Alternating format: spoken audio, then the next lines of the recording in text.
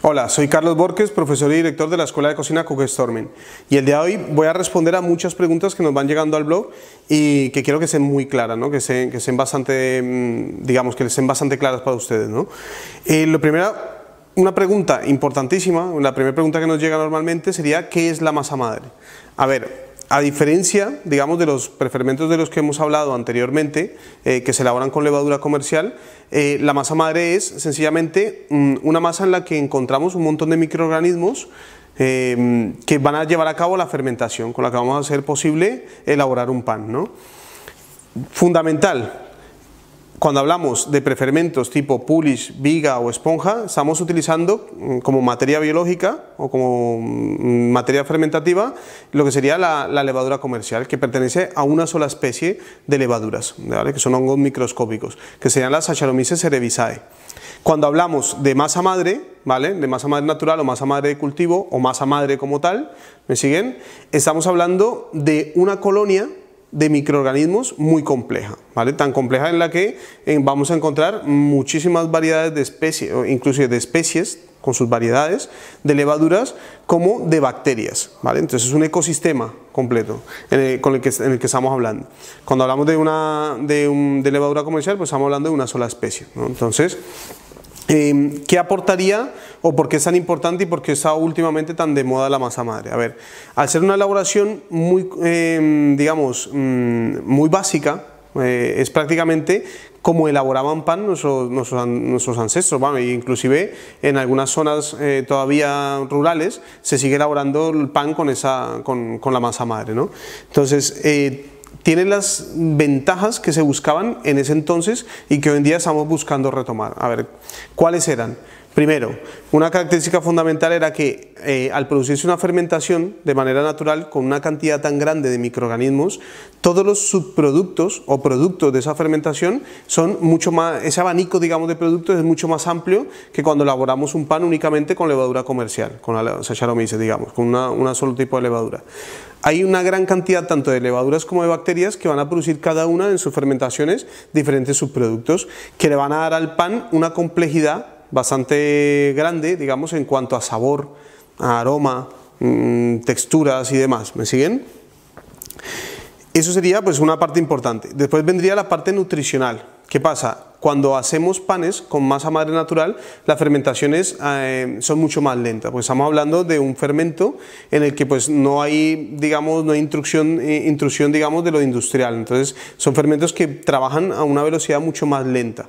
Entonces, en ese proceso de fermentación más lenta, ¿vale? Le damos la posibilidad a la masa del pan a que, a que se acondicione muchísimo mejor. Primero, los almidones se van degradando muchísimo más, se van soltando más azúcares, se van produciendo más eh, compuestos, digamos, eh, eh, emulsionantes, se van produciendo una gran cantidad de compuestos y deteriorando algunos otros, se van degradando proteínas como el mismo gluten, que, es, mm, que prácticamente es una, una, proteína, un grupo de proteínas que son muy indigestas, que nos sientan muy mal, o sea que no nos sientan mal, pero que son muy difíciles de digerir para el organismo, pues en todo este proceso de fermentación lento, que es prácticamente obligatorio con la masa madre, eh, vamos sin quererlo, ¿vale? A permitir que toda esa descomposición gradual, tanto de los azúcares, de los almidones, tanto de las proteínas, se vaya mm, haciendo de cierta forma que sería como una especie de predigestión.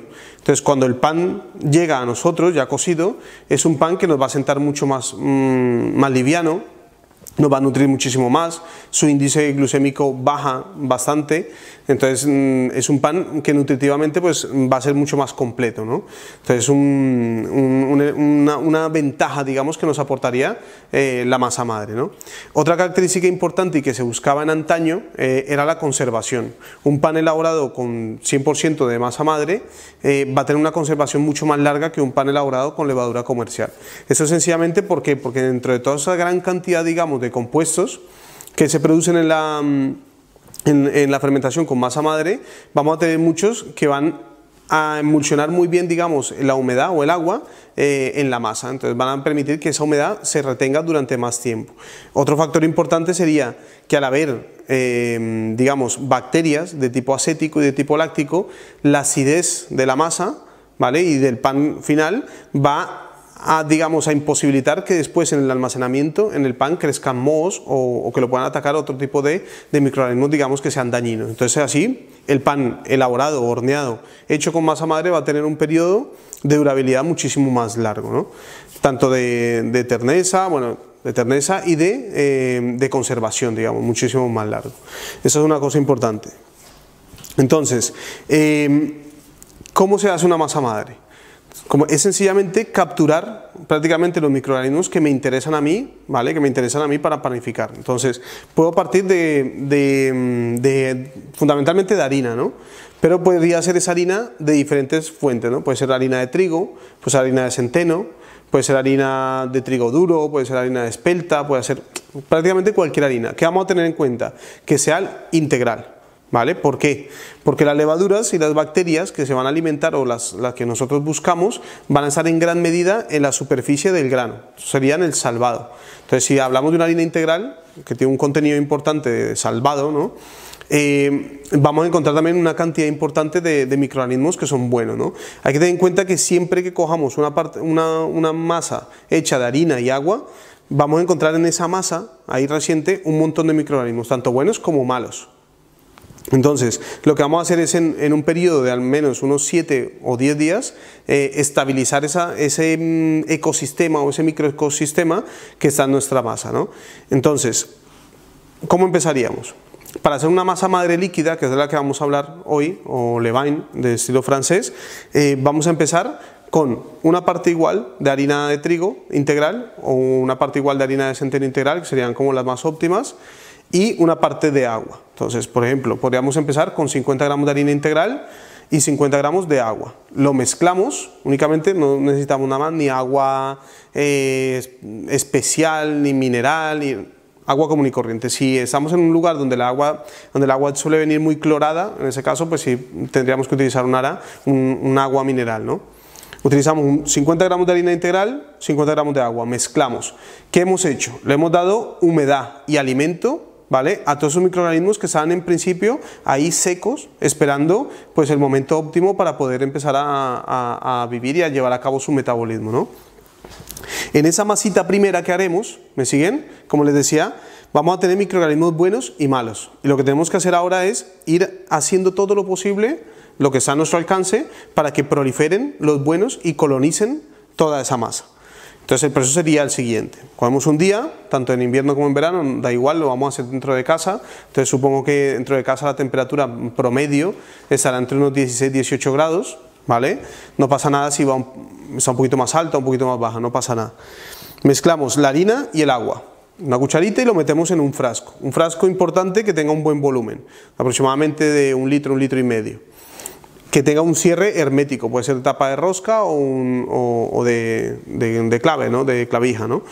Y ahora, eso lo vamos a dejar a temperatura ambiente en un lugar que no le dé directamente la luz del sol, pero lo dejamos 24 horas.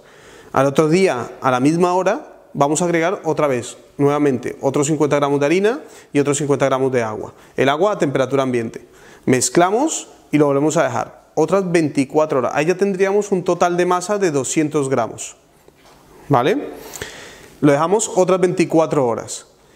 Ahí seguramente a muchas personas, si están en verano o inclusive si la, si la, harina tiene una población importante de algunas bacterias que no son muy buenas, puede ser que empiece ya a, a, notarse algunas burbujitas en la masa, pero no le vamos a echar cuenta a eso.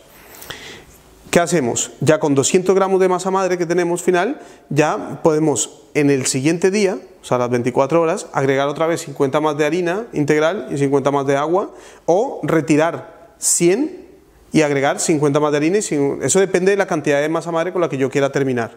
Entonces, si yo quiero tener 200 de masa madre y mantenerlo así durante los 10 días, pues siempre tengo que sacar 100 gramos de esa masa y reponerlo en harina nueva y en agua nueva, ¿no? Si quiero terminar con 300, pues al tercer día empezaríamos a quitar los 100 y a reponerlos. Ese proceso es, eh, se hace directamente para no terminar con 10 o 20 kilos de masa madre. Lo que necesitamos únicamente entre 200 y 300 gramos, que vienen muy bien en un bote de estos de litro y medio, caben perfecto y están ahí a sus anchas. Entonces, al tercer día realizamos lo mismo. O sea que saquemos los 100 gramos y reponemos harina integral y agua. Podríamos utilizar una mezcla de harina integral de centeno y harina integral de trigo, pero con solamente harina integral eh, de trigo se da una masa eh, bastante interesante. Entonces, eso es sencillamente porque en la harina de centeno tenemos una carga biológica importante. Es una harina que suele contener eh, una carga de microorganismos bastante importante. Entonces acelera un poco lo que sería la, la, producción de esa masa madre, la creación. Otra forma de acelerarla un poco, que me gusta utilizar a mí, es agregar al principio de los días un puñadito de pasas de uva. ¿Vale? Pero no es necesario. O sea, con solamente trigo harina y agua se va a producir una masa madre. Pero si lo queremos acelerar un poquito porque sea invierno, porque esté haciendo mucho frío y todo eso, pues eh, le podemos agregar un, puñadito, 10 pasas de uva, ¿vale? Que en el tercer o cuarto día, ¿vale? Agregamos primero el agua, colamos y después le agregamos la harina para quitar las pasas, ¿vale? Si se la hemos echado a contar, la podemos quitar manualmente. Entonces, eh, al tercer día realizamos lo mismo, otro refresco. Un poco más de harina, un poco más de agua. Al cuarto día 24 horas. Quitamos 100 gramos y ponemos 100 gramos de, masa, de, la masa que está ahí, todavía no es masa madre como tal, pues la estamos construyendo hasta ahora. ¿no? Quitamos esos 100 gramos y le agregamos otros 50 de harina y otros 50 de agua, siempre integral. Ahí tapamos nuevamente y lo dejamos en el mismo sitio. Al cuarto quinto día, ¿vale? Eh, puede pasar que gasifique, que empiece ya a producir muchas pompas y la masa crezca. Y ahí viene un error muy común y es que la gente suele creer que ya está hecha. Porque normalmente la indicación, una de las indicaciones de que mi madre, masa madre está lista es que ha aumentado el volumen y se ha gasificado, que quiere decir que normalmente pues hay una población de levaduras que hace que se produzca una buena cantidad de gas carbónico y se infle nuestra masa. ¿no? Pero hay que tener cuidado porque hay algunos microorganismos que son malos y que en esos días, justo en esos días, en los que la masa madre todavía no ha llegado a bajar mucho el pH, lo vamos a ver, porque ten en cuenta algo, en la masa madre eh, van a haber levaduras y bacterias, lácticas y acéticas. ¿Eso qué quiere decir? Las levaduras por su parte hacen fermentación alcohólica, producen gas carbónico y alcohol. Y las bacterias lácticas pues producen ácido, láctico, las acéticas uh, producen eh, ácido acético, que es el mismo del vinagre. Entonces la masa madre eh, va a ir progresivamente acidificándose. Ese proyecto de masa madre va a ir con el tiempo haciéndose más ácida. ¿Qué pasa? Que mientras la acidez no sea lo suficientemente baja, ¿vale? No es segura. ¿Por qué? Porque con una acidez baja, mm, si no, si no, es muy baja la acidez, eh, pueden estar ahí viviendo otros bichos eh, que no nos interesan. ¿Me siguen? En cambio, cuando la acidez disminuye, que quiere decir que mi masa madre ya está madura, ya prácticamente esa misma acidez protege a la masa madre de la intervención de otros microorganismos que no nos interesan. Entonces, por eso que al cuarto o quinto día, si crece, no podemos creer que está hecha, porque seguramente sean eh, bacterias que no son beneficiosas, que no nos interesan. Tenemos que seguir con ese mismo proceso un mínimo de 7 días. Cada 24 horas quitamos 100 gramos, ponemos 50 eh, de harina y 50 de agua. Siempre integral, ¿vale? Al cabo de esos 7 días, al séptimo día, si nuestra masa al hacerle el primer al hacer el refresco que nos tocaba ese día, quitarle la, masa y ponerle la harina y el agua, al, cabo de unas 3 o 4 horas nuestra masa ya ha empezado a crecer, ¿me siguen? Inclusive al cabo de 2 horas, si ya han pasado 7 días, ya sí es muy seguro que nuestra masa madre eh, esté en buenas condiciones, o sea, que ya esté una que haya un ecosistema ahí de levaduras y bacterias que están, que muy bien, digamos, ya, ya está mucho más estable. Nuestra masa madre a esos días ya estará más ácida, entonces es muy difícil que una bacteria mala sobreviva a esa acidez que ya ha ido produciendo la, la masa madre. Entonces, al séptimo octavo día, si yo veo que mi masa madre a, esa, a las dos horas ya empieza a crecer, ahí ya lo que podemos hacer es darle inmediatamente otro refresco, ¿vale? Igual que el a las 24 horas, 50 gramos de harina, 50 gramos de agua, mezclarlo, dejarlo otras dos o tres horas y guardarlo en la nevera, porque nosotros no vamos a hacer pan constantemente, ¿no? Si vamos a hacer pan constantemente todos los días o tenemos la producción como tipo panadería, podríamos mantenerla con ese tipo de refrescos así, cada 12 horas, en vez de cada 24 la podríamos mantener cada 12 horas. ¿Cómo? 50 gramos de harina, 50 gramos de agua, a las 12 horas quitamos 100 gramos y volvemos a poner 50 de harina, 50 de agua y la vamos manteniendo así. Como no vamos a hacer pan normalmente, ¿me siguen? Lo que vamos a hacer es mantenerla en la nevera. La bloqueamos en la nevera, en la nevera los microorganismos se vienen abajo, funcionan más despacio y entonces podemos mantenerla mucho más tiempo. Y cada vez que yo vaya a hacer pan, ¿me siguen? La saco de la nevera, justo, inclusive si la saco y hago pan una vez cada semana, una vez a la semana mínimo, la podría sacar el día anterior. saco mi masa madre anterior de ser pan y le doy un refresco. Eso se llaman refrescos. Ahora ya son refrescos para darle alimento y agua para que se espabilen otra vez los microorganismos. Entonces la saco de la nevera, ¿vale? Que estará muy fría y le hago un refresco. A ver, cuando hablamos de refrescos hay varios sistemas. Eh, se va a hablar normalmente del sistema 1, 2 puntos, 1, 2 puntos, ¿vale? ¿Qué quiere decir? Una parte de masa madre, una parte de harina y una parte de agua, ¿vale? Que si yo tengo 200 gramos de masa madre, peso mis 200 gramos en un bol aparte, lo saco del bote. Ese bote, si lo vamos a lavar, nunca lo lavamos con jabón, lo lavamos con agüita, bien, bien enjuagado y ya está. ¿vale? Echamos esos 200 gramos de masa madre en el bol, le ponemos 200 gramos de harina, que ya podemos empezar a utilizar harina blanca si la queremos blanquear, si queremos que sea más blanca nuestra masa madre. ¿Vale? Que no siga siendo integral para que no se acidifique tanto. Y 200 gramos de agua. Eso sería un sistema 1-1-1. ¿Vale? Ahí dejamos que la masa madre a temperatura ambiente, si está haciendo mucho frío, la tendríamos que tener en un sitio lo más calentito posible, ¿vale? que no superase nunca los 30 grados centígrados. Dejamos que ya suba, que, que, fermente, ¿no? que duplique, y le podemos hacer otro segundo refresco al 1-1-1. Otra vez vuelve a subir, y al tercer refresco, ¿vale? le haríamos otro refresco, cuando haya subido, no haya llegado a duplicar, sino haya llegado más o menos a, un 30, un 40% de, de su crecimiento, o sea, tengo en cuenta, si mi masa madre está en este nivel y el duplicado es aquí, si mi masa madre está aquí más o menos, ¿vale? En el bote, lo que hago es usarla ya la podemos usar dentro para elaborar un pan. siguen? Utilizarla más bien joven, no utilizarla cuando ya ha llegado al tope de haber duplicado, sino utilizarla un poquito antes. ¿Para qué? Para que no esté la levadura ya saciada, ¿no? que estén es a punto de entrar en otra masa nueva y empezar a fermentar. ¿no? Entonces, en una masa de pan común y corriente, lo recomendable, si yo quiero hacer mi pan entre las primeras 6 mm, o 7 horas, ¿vale? que va a tardar, son fermentaciones largas. ¿no? Voy a utilizar un 40% de masa madre. Esto es, por cada kilo de harina, todos los porcentajes se calculan siempre sobre la harina. Para los panaderos se le llaman porcentaje de panadero. Sobre un kilo de harina voy a utilizar 400 gramos de masa madre. Esto, mm, si yo eh, tenía 200 gramos de masa madre, le hice un refresco, tengo mm, prácticamente 600, ¿no? Para el segundo refresco tengo que tirar, si no termino con 1200. ¿Me siguen? Si voy a usarlos todos, pues perfecto. Es importante que siempre calculen que quede un poco, ¿no? Siempre tiene que quedar un poco. Lo que yo voy a usar en cada refresco, yo, parto de 200 gramos de masa madre, le hago un refresco al 111, termino con 600 en el primer refresco. Yo necesito eh, una cierta cantidad. Yo siempre voy a tratar de guardar 200 gramos, ¿vale? Entonces, de esos, 200, de esos 600 puedo utilizar 400 y los 200 los vuelvo a guardar en mi frasquito, ¿vale? ¿Para qué? Para mantenerla y para seguirla activando cada vez que yo vaya a hacer pan. Cojo eh, la masa de pan, los 400 gramos de masa madre activa, ¿vale? Que ya la he refrescado para que sea activa, lo incorporo, hago mi receta de pan común y corriente, mm, le, lógicamente le quito el agua y la harina que va metido en la masa madre y lo dejo fermentar en bloque tres o cuatro horas, que la masa bueno, aumente, después empieza y todo el proceso de un pan de la receta que nos diga, ¿vale? Entonces, cuando se va a hacer directa, se, utiliza al 40%. Si está haciendo mucho calor, la vamos a utilizar eh, al 30%, ¿me siguen? Al 30%, menos, ¿vale? Para que no se acidifique demasiado, porque si no la fermentación va a ir muy rápido.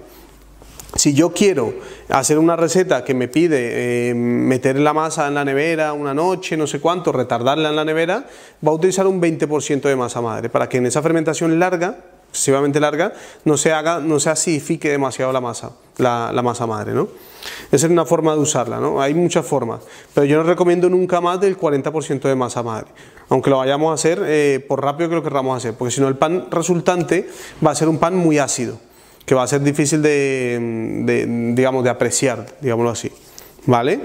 Después ya em, lo irán ustedes trabajando, lo irán viendo, irán aprendiendo un poco. Yo siempre pruebo la masa madre antes de usarla y busco que tenga una acidez suave, a tipo, tipo yogur, muy láctica, ¿vale? Eh, la mejor forma y la forma más práctica de, de, saber en qué momento está, que gasifique y que al probarla no la encontremos excesivamente ácida, ¿no? A ver, otra pregunta frecuente es ¿cómo sé si está muerta? Mm, a ver, si yo he seguido todo el proceso de elaboración de la masa madre al pie de la letra, la he dejado en un sitio seguro, no la he dejado al lado, por ejemplo, de la lejía, no la he dejado al lado de, de limpiacristales, me sigue, la he dejado en un sitio donde yo suelo dejar eh, mis conservas o en la alacena, yo qué sé, en un sitio seguro, ¿no? Eh, y he respetado el proceso de los siete días mínimo, ¿vale? no, hay, no tendría, o sea, es muy difícil que una masa madre, después de todo ese periodo de estabilización, se muera. O sea, tendríamos que eh, joderla mucho. Tendríamos que reventarla de alguna manera. Si yo paso esos siete días, la masa duplicaba, la guardé en la nevera, eh, y después me he dado cuenta que la saqué de la nevera y le costó un poco activarse, ¿vale? Es normal. Si la masa madre dura muchísimo tiempo en la nevera, ¿vale? Eh, lo normal es que se atonten muchísimo tanto las levaduras y las bacterias. Y entonces empieza a, inclusive, a venir a la parte de abajo y en la parte de arriba empieza a aparecer un caldillo, ¿vale? Un caldito ahí mm, como oscurito, que con el tiempo se va volviendo más oscuro. Sencillamente porque se decanta, ¿no?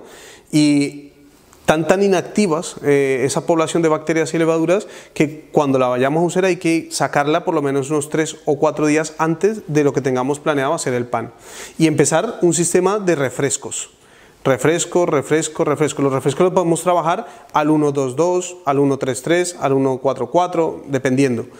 133 que sería 200 de masa madre, ¿vale? De la que tenemos en el bote, eh, serían 600 de harina, y 600 de agua. Eso es lo que significa el 133, 122, ya está. ¿Vale? ¿Para qué haríamos un refresco tan largo? Sencillamente, pues si yo mi masa madre la voy a guardar durante mucho tiempo en la nevera, ¿me siguen? Eh, me voy a ir de viaje durante un mes o lo que sea, pues la cojo activa y para que me dure mm, más o menos activa durante ese tiempo, en la nevera le puedo dar un refresco al 144, por ejemplo. Cojo 100 gramitos o 50 gramitos de esa masa madre, el resto lo tiro y le meto esos 100 gramos, le meto 400 de harina y 400 de agua. Pues va a terminar con mucha masa madre, entonces puedo coger un poquito menos. La dejo que active, ¿vale? Que se active unas 3 o 4 horas a temperatura ambiente y la guardo en la nevera. Me voy de viaje y al mes vengo, ¿vale? Y la masa madre debería estar eh, no activa, no ahí mm, tirando gas por todo lado, pero sí, sí mm, digamos, estable, ¿no? A mucha gente le pasa que la dejan mucho tiempo en la nevera, la olvidan, se les olvida y tal, y entonces cuando van a ver el bote, en el bote la masa se ha sentado y ha salido el caldito que les comentaba antes, y un caldito muy oscuro, y cuando la abrimos huele a acetona, huele a quitasmalte, ¿no? Eso sencillamente porque la fermentación ya se ha pasado a otro nivel y hay otras bacterias que están fermentando y van, produciendo, van transformando ese ácido acético eh, en, acetona prácticamente. Entonces huele a quitasmalte, entonces se me ha muerto si ha pasado mucho, mucho tiempo, hablamos de más de un año, ¿vale? Eh, eh, yo que sé, he visto por ejemplo a Iván Yarza eh, resucitar una masa de un año de, estar en la nevera y la, ha resucitado, la ha reactivado. ¿Qué pasa? En un periodo de refresco de por lo menos mm, dos semanas o una semana entera, dándole refresco, refresco, refresco, refresco, para que la masa madre fuese activándose progresivamente. La mía, por ejemplo, mm, cuando pasa el periodo, por ejemplo, del curso profesional de pan, puede estar prácticamente fácilmente unos tres meses en nevera. A no ser que mm, siempre guardo un poco, esos tres meses en nevera, y saco un poco para ir haciendo mi pan para consumo propio, ¿no? Y puede estar esa base de masa madre tres meses. Cuando llego me la encuentro con, decantada, ¿sí? con el líquido en la parte de arriba, tiro ese líquido, ¿vale? Y una, una semana o dos semanas antes de empezar el curso profesional de panadería, empiezo a activarla. Empiezo tan, le doy un refresco con agua templadita para que sea más bien cómoda, le doy un refresco al 111, sigue muy ácida, le hago a las 3 o 4 horas, dependiendo como yo la vea, le hago otro refresco, por la noche, para que pase toda la noche en esas 8 horas, pues le hago un refresco más larguito del 144 pero a temperatura ambiente, y al otro día sigo con todo ese sistema de refrescos. Hay muchos sistemas de refrescos, pero es ir aprendiendo y entendiendo nuestra propia masa madre. ¿no? Es muy difícil a la pregunta de cómo si está muerta, inclusive oliendo acetona, a quitas malte, se puede revivir. O sea que mm, si yo la saco una semana antes y la, refresco y la refresco y aquello no va, no sigue, es o porque se ha contaminado o porque le ha, caído algo muy malo, vamos, es muy difícil que muera la masa madre es muy estable. Si el periodo de día lo respeto, va a ser muy estable. Entonces, una masa madre muerta eh, o, que la han contaminado ya huele a cosas demasiado raras. ¿Me siguen? Si huele a acetona inclusive, la pueden revivir, que lo sepan. Em, ¿Cuál es el momento óptimo para usarlas? Otra pregunta clave. El momento óptimo, como les decía, es si la tengo en la nevera, la saco, la refresco. Cuando yo veo que en, menos de una o dos horas mi masa madre está duplicando, o sea, está creciendo, ¿me siguen? Ahí inmediatamente, cuando duplica, le doy otro refresco corto al 111 y cuando haya crecido no llegue a duplicar, ¿vale? Que no llegue otra vez a duplicar. Es importante que no llegue a duplicar para que no esté, mm, no esté demasiado ácida. Y ahí la uso. ¿Me siguen? Entonces, yo le hago un refresco, pasan dos horas, mi masa madre duplica. Quiere decir que está de lujo mi masa madre, ¿sabes? Está cañón. Entonces, le hago otro refresco y espero otras dos horas, ¿vale? O una hora y veo que mi masa madre ya ha crecido, ¿vale? No ha llegado a duplicar, pero ha crecido un 30% más de su tamaño. Ahí la uso. Ese sería el momento óptimo. Otra prueba que se hace muchísimo es una cucharadita de esa masa madre para saber cuándo está en un vasito de agua, la dejo caer y si mi masa madre flota, ¿vale? Eh, quiere decir que está óptima. la prueba de flotabilidad. ¿Qué quiere decir esa prueba? Que mi masa madre hay tanto gas carbónico que se ha aligerado mucho la masa y cuando la tiro en el agua flota. Entonces es una buena, un buen indicador de que mi masa madre está óptima para meterla en una receta de pan. Eso sería, pues en principio me podría extender muchísimo más, pero la idea es que quería ser lo más breve posible. ¿no? Eh, cualquier duda, cualquier pregunta que tengan, eh, dejarla en el blog y, y apenas eh, se las voy a responder. ¿vale? Entonces, eh, espero que les haya servido el vídeo, que les sea muy útil y que seguramente van a tener de aquí para adelante muchísimas dudas, pero es lo normal, eh, me escriban. ¿Vale? nada, pues muchísimas gracias y los espero en la próxima.